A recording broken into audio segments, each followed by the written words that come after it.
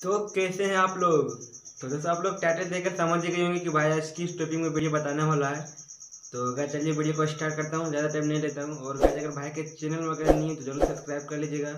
तो आप लोग का पता होगा कि सब्सक्राइबर बेलाइकन वाला इंट्रो आप लोग कैसे बनाना है एनिमेशन वाला। तो चलिए तो चलिए वीडियो को स्टार्ट करता हूँ।